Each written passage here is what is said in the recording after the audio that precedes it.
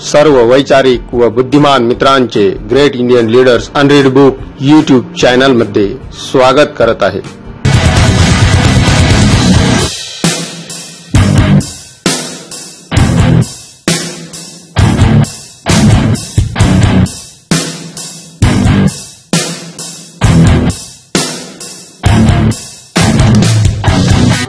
लोकांना मनुस्मृती आणि संविधान मधील फरक कळू द्या. काय होते या मनुस्मृतीमध्ये जाणून घेऊया. संविधान आणि मनुस्मृती यामधील फरकातून. नंबर एक मनुस्मृती. एक एकतीस चारशे एकोणतीस चारशे नव्याण्णव. ब्राह्मणी मनुस्मृतीनुसार ब्राह्मण क्षत्रिय वैश्य व शूद्र हे जन्मत असमान आहेत. कारण ब्राह्मणस्य मुखमासिद माहु राजन्य कृत्य उरु तदस्य यह वैश्य पदभ्यम शूद्रो अजायता. अर्थ ब्राह्मणांचा जन्म ब्रह्माच्या मुखातून झाला आहे क्षत्रियाचा जन्म बाहूतून वैश्याचा जन्म मांडीतून आणि शूद्राचा जन्म ब्रह्माच्या पायातून झाला झाला आहे. संविधान कलम चौदा. परंतु डॉक्टर बाबासाहेब आंबेडकर लिखित भारतीय संविधानानुसार सर्व नागरिक समान आहेत. त्यांचा धर्म वंश जात लिंग किंवा जन्मस्थान या कारणावरून भेदभाव करण्यास मनाई आहे.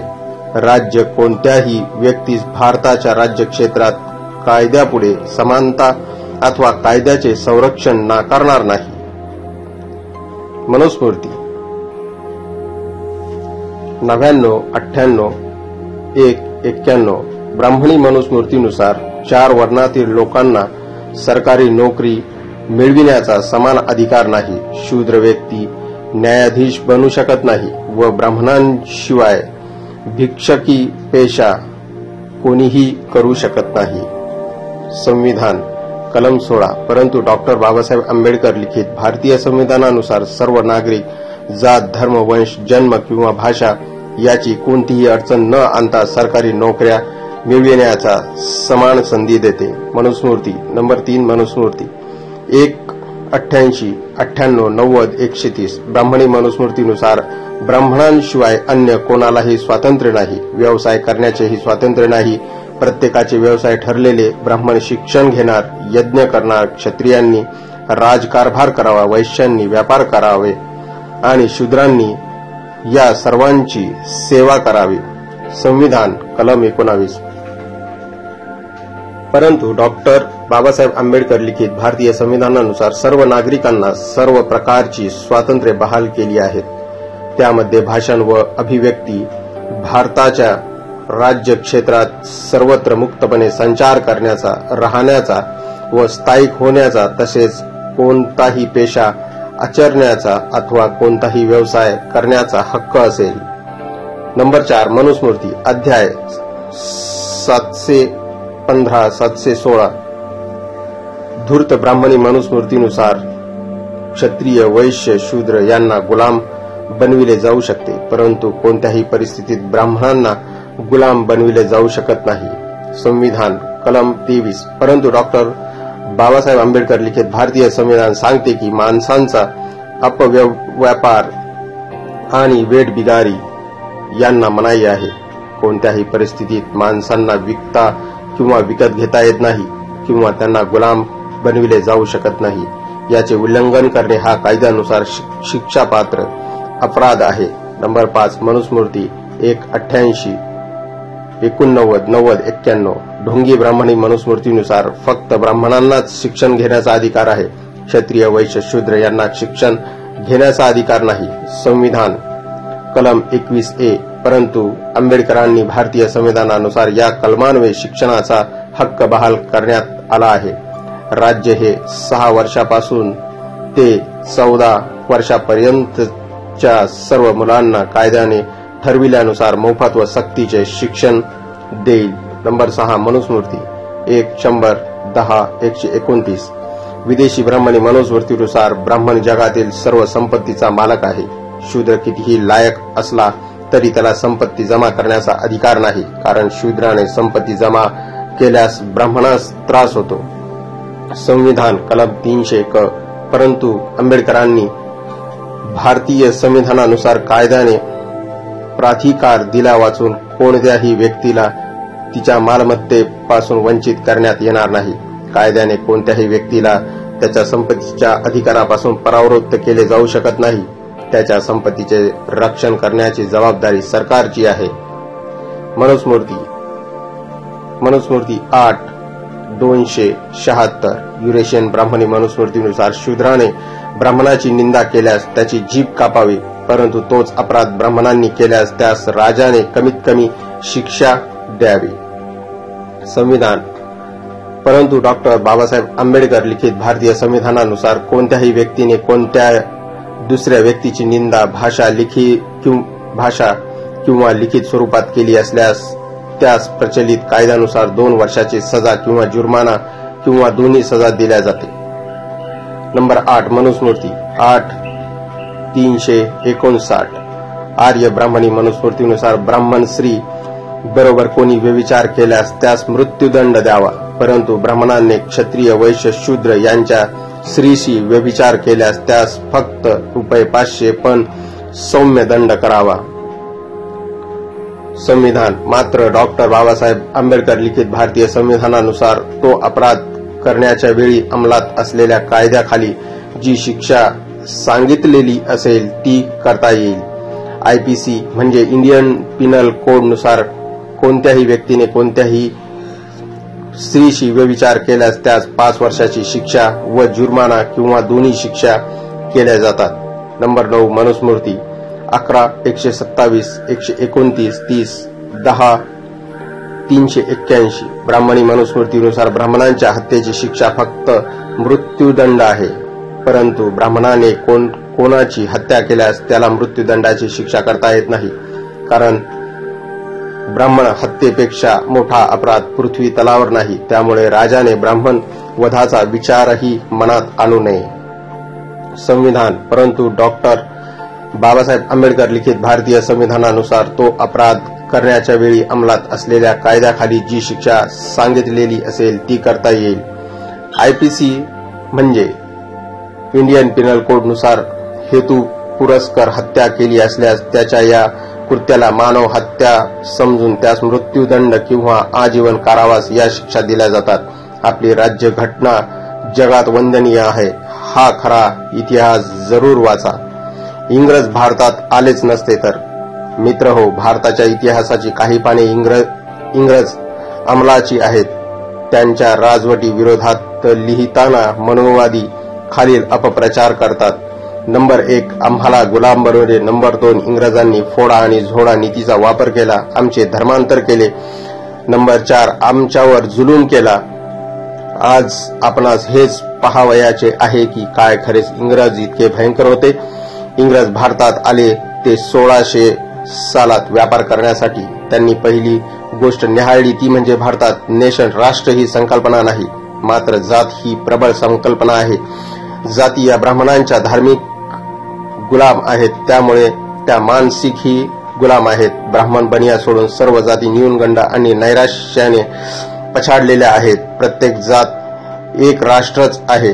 त्यांच्यात रोटी बेटी व्यवहार होत नाहीत. ब्राह्मणांनी प्रत्येक जातीला उपजातीतही विभागून कायमचे फोडले आहेत. इंग्रजांनी असा विचार केला की येथील सर्व जन जनताच तर ब्राह्मणांची गुलाम आहे. तर गुलामांचा पराभूत करण्याची गरज नाही केवळ ब्राह्मणांचे महत्त्व संपवायचे. बस. सतराशे सत्तावन्नला सिराज उद्धवला याचा पराभव इंग्रज का करू शकले? कारण जगत सेठ राज दुर्लभ आणि अमीर चंद या तीन ब्राह्मणांनी इंग्रजांना मिळून षडयंत्र करणे होय. म्हणजे इंग्रजांची सत्ता भारतात कायम करण्यात सर्वात पुढे ब्राह्मण.